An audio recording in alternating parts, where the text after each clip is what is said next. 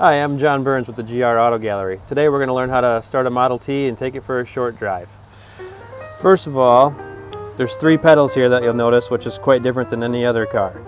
Starting over here is your, your gear selection, your high and low gear. This pedal here is your reverse pedal, and this pedal here is your brake pedal. As you move up here, you see a lever on the left. That's your spark. The lever on your right is the throttle.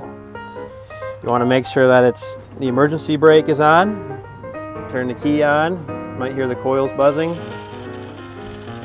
You always want to make sure the spark is up to the top, otherwise you'll break your starter bendix. Give it a little choke. This guy here. Start her up. Then you bring the throttle down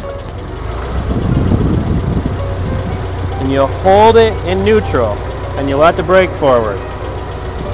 And then you're ready to take off. Here we go. A little throttle.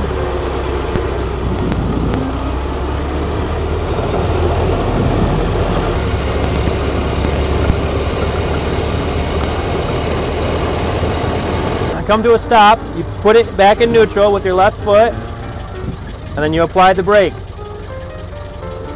So definitely got to use both feet to drive this thing. And that's how you drive a Model T.